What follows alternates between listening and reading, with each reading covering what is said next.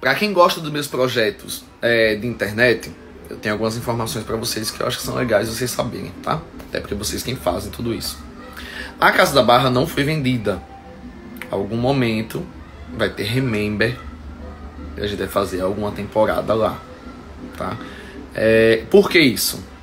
Por tanto carinho que eu recebo dos moradores daquela cidade, dos empresários, de, sabe, as mensagens que eu recebo o tempo todo. Agora ética sinto falta. É, então o rancho veio para ficar, mas a Casa da Barra, algum momento vai fazer algum remember lá, tá? Só para avisar. E eu espero do fundo do coração que os próprios moradores, se tanto pedem pra gente voltar a fazer, protejam aquilo dali, entendam o tamanho daquilo de uma vez por todas. Segunda coisa, é, meus cunhados, foi conversado com eles, pessoas que eu gosto pra caramba, não estarão na próxima edição. Eu vou profissionalizar ainda mais o meu projeto como tá todo mundo bem, todo mundo feliz, todo mundo fez suas vidas, é, então o rancho vai continuar sendo, sendo porta, como foi a Casa da Barra, como foi a Vila, para dar visibilidade para outras pessoas. É, então eu vou separar muito esse lado de família com o meu trabalho e, e é isso, tá? Só para vocês saberem não misturarem mais as coisas. Então, tudo, a partir do momento que eu botar o meu pezinho lá, vai ser muito feliz e divertido, mas principalmente profissional não me envolvo mais na vida pessoal de ninguém, por mais que eu goste das pessoas. Ela vai ser.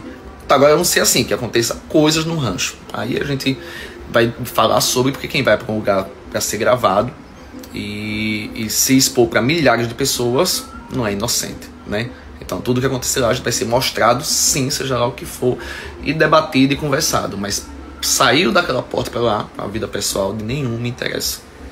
Outra coisa importante, eu ainda não liguei para nenhum substituto vai ser, eu vou ligar agora, eu vou pro rancho amanhã, inclusive.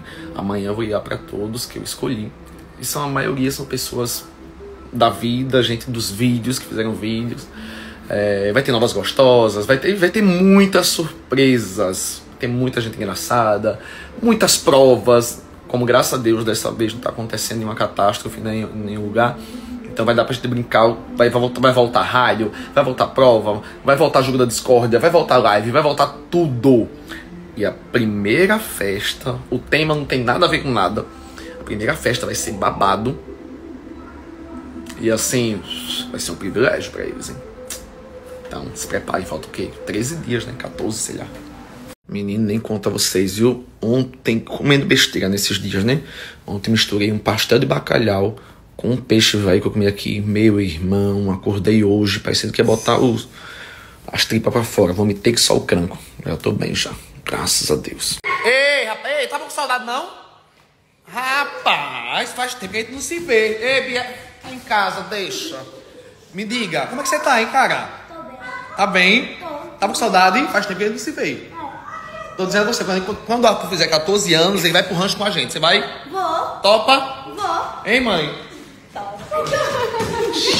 Meu Deus. Já andaram de carro, já de abraço, tá tudo certo. Pra quem chegou há pouco tempo, esses dois pestinhas eram meus vizinhos aqui.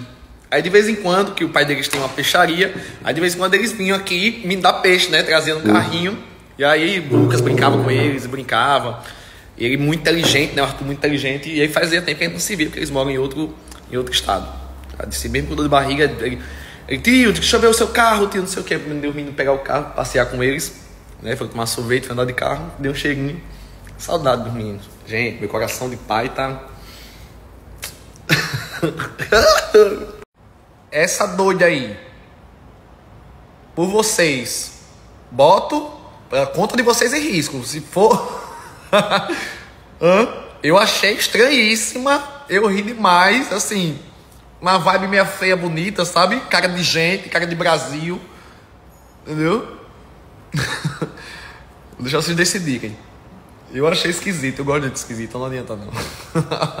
Acho que em algum momento eu vou fazer um sanatório, com certeza.